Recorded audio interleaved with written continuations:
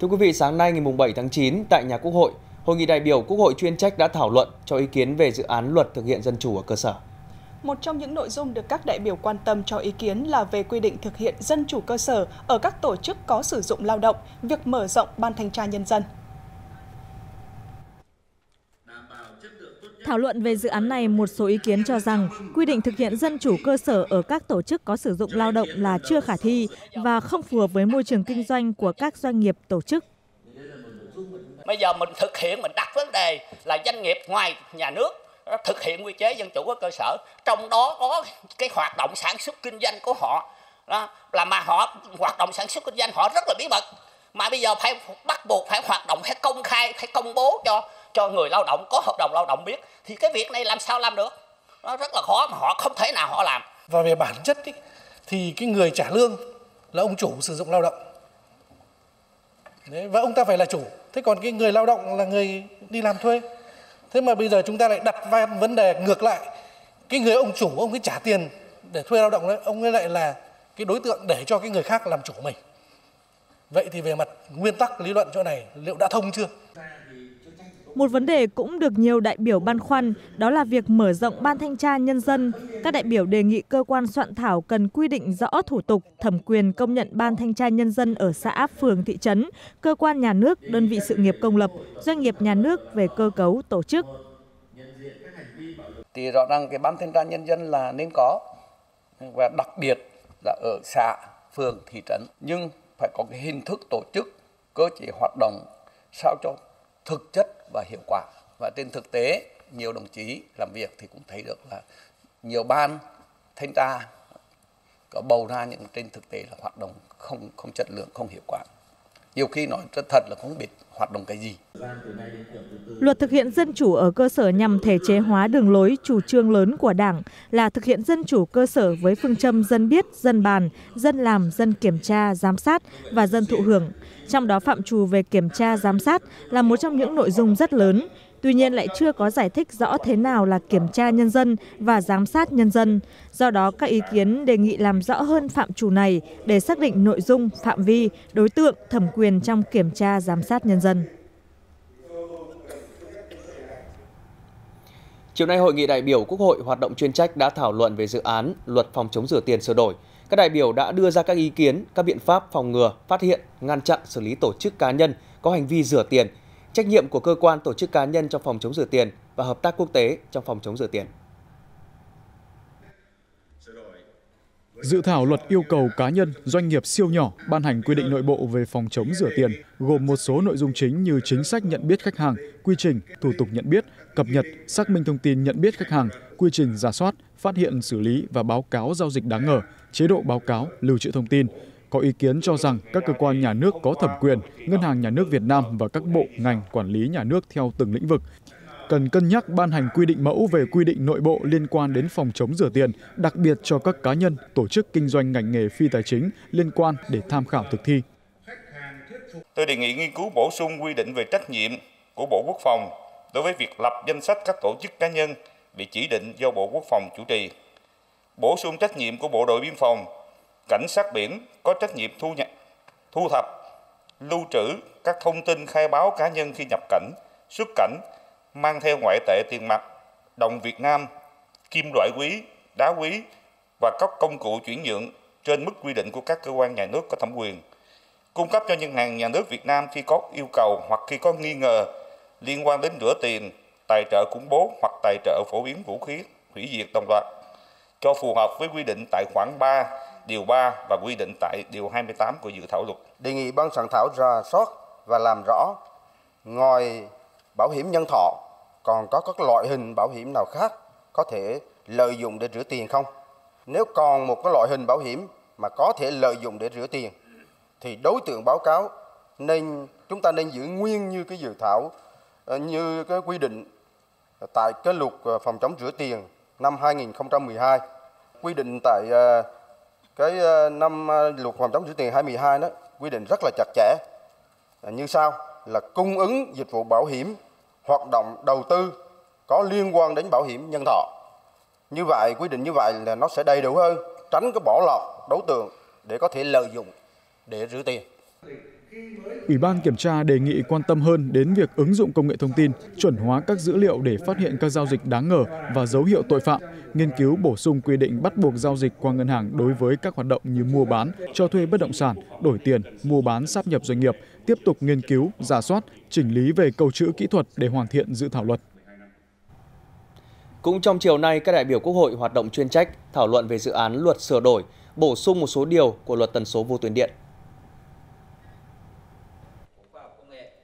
Các đại biểu đánh giá cao tinh thần trách nhiệm của cơ quan soạn thảo đã tiếp thu ý kiến của các vị đại biểu Quốc hội, ý kiến chỉ đạo của Ủy ban Thường vụ Quốc hội để chỉnh lý, hoàn thiện dự thảo luật. Cho ý kiến về quyền chuyển nhượng sử dụng tần số vô tuyến điện, một số ý kiến cho rằng trong luật hiện hành cũng như trong dự thảo luật chỉ đặt vấn đề cho phép chuyển nhượng đối với trường hợp tần số vô tuyến điện được phân bổ cấp giấy phép theo phương thức đấu giá. Tuy nhiên, trên thực tế đến nay vẫn chưa được thực hiện đấu giá, tức là chưa có việc chuyển nhượng. Vì vậy cần có giải pháp để thúc đẩy thị trường loại hàng hóa, dịch vụ này.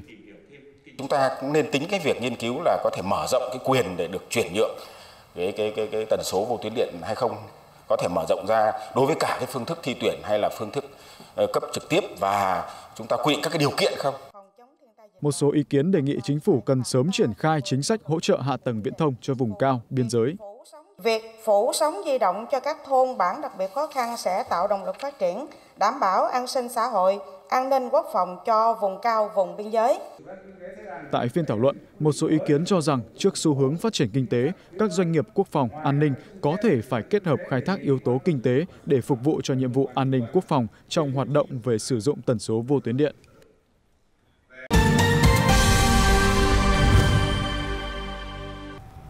Với mục tiêu trọng tâm, chủ động, đồng bộ, đột phá, kỷ cương, chất lượng, hiệu quả, tại Hà Nội, Học viện Chính trị Quốc gia Hồ Chí Minh đã tổ chức khai giảng năm học 2022-2023. Dự buổi lễ có đồng chí Võ Văn Thưởng, Ủy viên Bộ Chính trị, Thường trực Ban Bí thư, đồng chí Nguyễn Xuân Thắng, Ủy viên Bộ Chính trị, Giám đốc Học viện Chính trị Quốc gia Hồ Chí Minh, Chủ tịch Hội đồng Lý luận Trung ương. Phát biểu tại lễ khai giảng, đồng chí Nguyễn Xuân Thắng nhấn mạnh năm học 2021-2022, học viện đã chủ động đổi mới nội dung chương trình, đào tạo bổ sung cập nhật những quan điểm mới và các văn kiện nghị quyết của Ban chấp hành Trung ương Đảng khóa 13 và những vấn đề lý luận thực tiễn mới trong nước quốc tế. Năm học 2022-2023, học viện quyết tâm triển khai các điều kiện cần thiết, tiếp tục tăng cường kỷ cương, kỷ luật trong quản lý hoạt động giảng dạy, học tập đối với cả giảng viên và học viên, góp phần quan trọng vào việc thực hiện thắng lợi nghị quyết số 21 ngày 16 tháng 6 năm 2022 của Ban chấp hành Trung ương Đảng về tăng cường củng cố xây dựng tổ chức cơ sở Đảng và nâng cao chất lượng đội ngũ đảng viên trong giai đoạn mới. Thay mặt Bộ Chính trị, Ban Bí thư, Thường trực Ban Bí thư Võ Văn Thưởng đánh giá cao, nhiệt liệt biểu dương những nỗ lực kết quả mà cán bộ, giảng viên, học viên của Học viện Chính trị Quốc gia Hồ Chí Minh đạt được trong năm học vừa qua, đồng thời đề nghị thời gian tới, học viện cần tiếp tục chủ động triển khai đồng bộ, tạo đột phá trong các mặt công tác theo tinh thần nghị quyết Đại hội Đảng toàn quốc lần thứ 13 và nghị quyết các hội nghị trung ương khóa 13, các hoạt động đào tạo nghiên cứu khoa học và tham mưu, tư vấn chính sách hợp tác quốc tế của học viện phải thể hiện rõ tâm vóc, trí tuệ, bản sắc, vị trí, vai trò, tầm quan trọng của ngôi trường cao cấp nhất của Đảng. Sáng nay, đoàn kiểm tra của Bộ Chính trị đã triển khai quyết định số 538 ngày 13 tháng 6 2022 về lãnh đạo chỉ đạo triển khai thực hiện nghị quyết Đại hội 13 của Đảng đối với Ban Thường vụ tỉnh ủy Quảng Ngãi. Đoàn kiểm tra của Bộ Chính trị do đồng chí Phan Đình Trạc, Ủy viên Bộ Chính trị, Bí thư Trung ương Đảng, trưởng Ban Nội chính Trung ương làm trưởng đoàn. Theo kế hoạch, đoàn kiểm tra của Bộ Chính trị sẽ kiểm tra kết quả thực hiện việc nghiên cứu, học tập, quán triệt, tuyên truyền nghị quyết đại hội 13 của Đảng, kết quả việc cụ thể hóa và triển khai thực hiện nghị quyết, kết quả thực hiện các mục tiêu, nhiệm vụ, nội dung nghị quyết đại hội 13 của Đảng.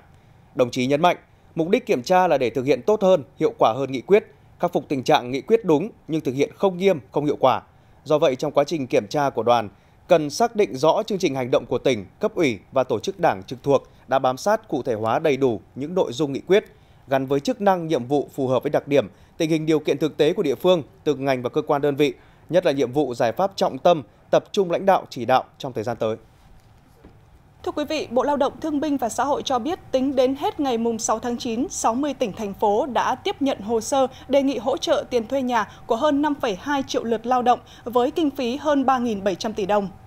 Số lao động được phê duyệt là hơn 5 triệu người, trong đó đã chi trả cho hơn 4,6 triệu người với kinh phí hơn 3.100 tỷ đồng. Riêng 3 tỉnh Lai Châu, Điện Biên, Cao Bằng không có đối tượng hỗ trợ. Hiện có 39 tỉnh thành đã hoàn thành giải ngân 100% so với số đề nghị. Đáng chú ý, một số địa phương tỷ lệ giải ngân thấp do số lượng hồ sơ đề nghị lớn như Đồng Nai, Bình Dương, Bà Rịa Vũng Tàu, Tây Ninh, Cần Thơ, Đà Nẵng, Hưng Yên, Hải Phòng. Bộ Lao động Thương binh và Xã hội đang tiếp tục đôn đốc hướng dẫn để các tỉnh, thành phố đẩy nhanh hơn nữa tốc độ thẩm định và giải ngân.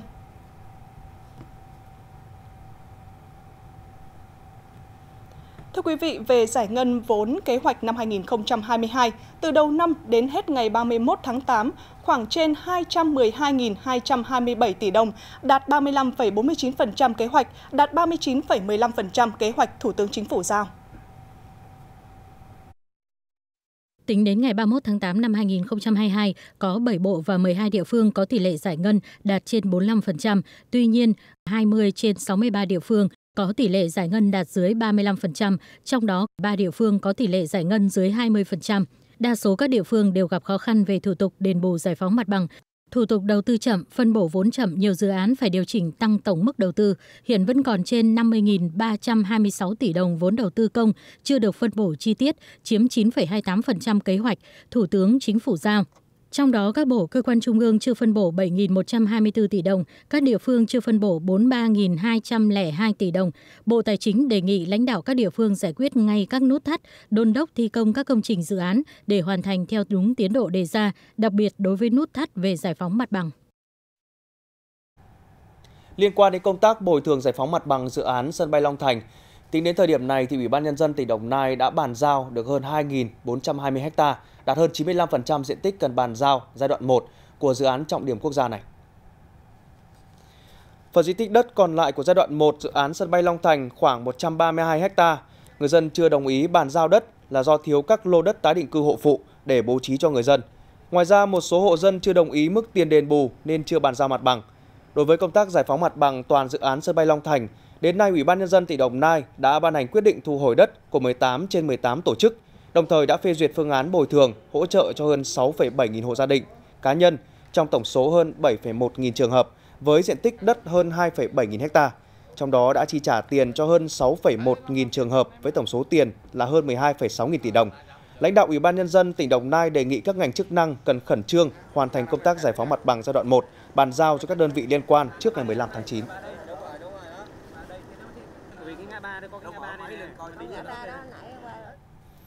Thưa quý vị, sau 2 năm tạm dừng tổ chức trực tiếp do dịch bệnh COVID-19, hôm nay tại Hà Nội, Bộ Nông nghiệp và Phát triển Nông thôn đã có thông tin chính thức về việc tổ chức triển lãm nông nghiệp quốc tế lần thứ 22 tiếp cận và phát triển sản xuất nông nghiệp 4.0 tạo giá trị gia tăng cho chuỗi giá trị sản phẩm nông nghiệp, thúc đẩy hoạt động xúc tiến thương mại, mở rộng quan hệ hợp tác, làm cầu nối giữa doanh nghiệp và người tiêu dùng là các mục tiêu mà triển lãm nông nghiệp quốc tế 2022 hướng tới. Đây cũng là cơ hội để các đơn vị sản xuất kinh doanh nông sản trong nước và quốc tế có thể giao lưu, chia sẻ kinh nghiệm và thúc đẩy hợp tác sản xuất kinh doanh. Triển lãm sẽ được tổ chức trong hai ngày 15 và 16 tháng 9 tới tại Trung tâm xúc tiến thương mại nông nghiệp Hoàng Quốc Việt, Hà Nội, quy tụ 170 gian hàng của 31 tỉnh thành thành phố trên cả nước và 28 doanh nghiệp nước ngoài đến từ các nước như Trung Quốc, Úc, Nga, Nhật Bản, Thái Lan và Indonesia.